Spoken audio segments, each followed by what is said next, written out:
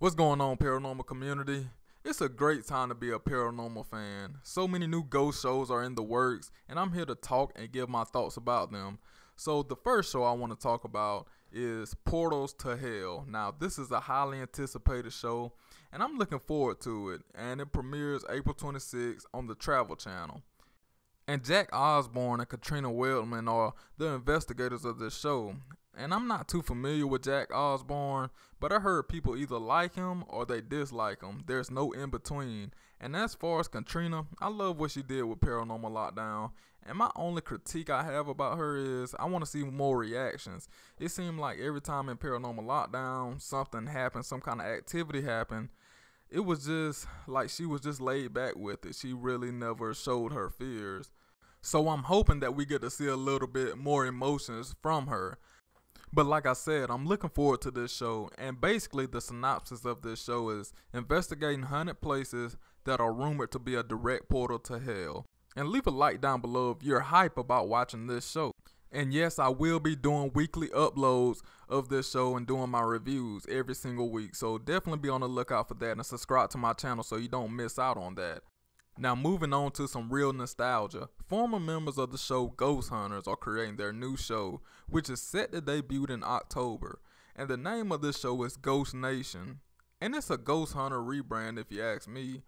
And basically, what they're going to be doing is trying to debunk these locations and prove that it's not haunted.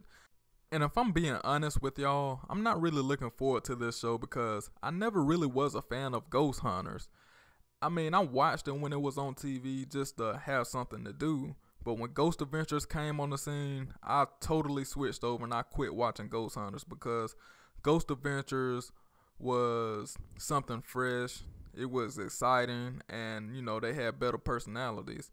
Leave a like down below if you switched over to the Ghost Adventure side once they came on the scene. And it's all a market strategy, switching up the names Ghost Nation and Ghost Hunters, but involving the same people. And I'm not really looking forward to it, like I said. Leave a like down below if you're excited for it, and comment down below if you're not excited for it. Now, this third show I want to talk about is very interesting, and it involves Robert Englund, otherwise known as Freddy Krueger. And this is a new show he will be hosting called Shadows of History. And basically, this show will be talking about the unknown history and some of the weirdest and scariest things that happened in the past that never really was brought to light. And you can catch this show on the Travel Channel. I don't think it has a set date yet, but be on the lookout for it.